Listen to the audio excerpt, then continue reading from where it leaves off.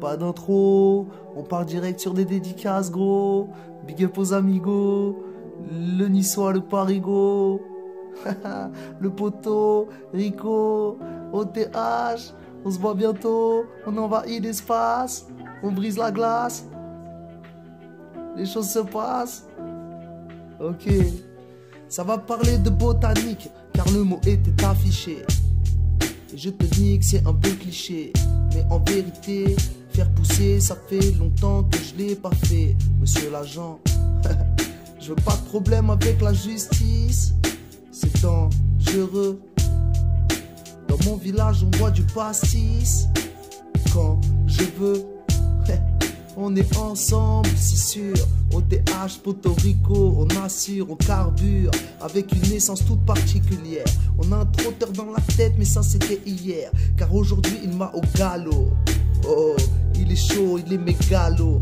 Grave. Il trotte toujours, il trotte, il trotte, car le prix bug, mais c'est pas grave, je me frotte à cet instrumental comme il le faut.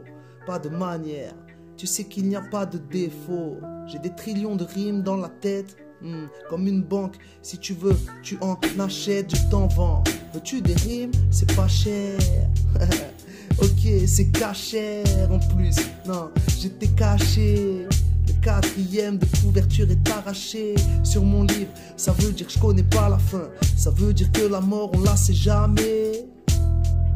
C'est incroyable, je suis en transit et je vais me démerder pour ramer et continuer, continuer encore. La classification dans ma tête, c'est comme le décor. C'est juste des étagères, une putain de bibliothèque.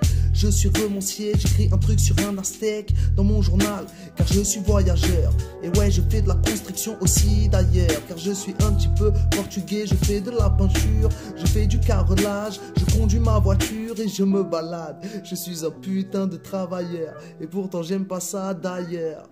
Dans le prochain freestyle, je vais te l'expliquer. J'espère que tu seras au rendez-vous, que tu vas pas paniquer. Peace.